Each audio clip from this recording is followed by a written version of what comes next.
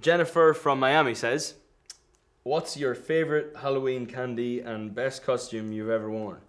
Uh, I haven't got really got a sweet tooth, so I've never been into candy to be honest. That's the most boring answer I could ever give you, but that's the truth.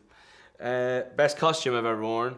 Uh, there's a, a cartoon in the UK called the Teletubbies. Dressed up as one of them one time. Terrible. Like when I was like four or something like that. Um, this year we were thinking about dressing up as the Beatles, all of us, for on stage because we're playing a show in New York. Um, probably what happened. We always come up with these crap ideas and never do it. Um, but and we all dressed up as Kiss before. Uh, yeah, I'm kind of I'm not very good at it. The whole fancy dress thing when you go out on a night out and you're dressed up and you got face paint rolling down your face when you get warm in a bar, it's just like kind of a waste of time to be honest. Um, but yeah, I'll, we'll give it a go this year. There you go.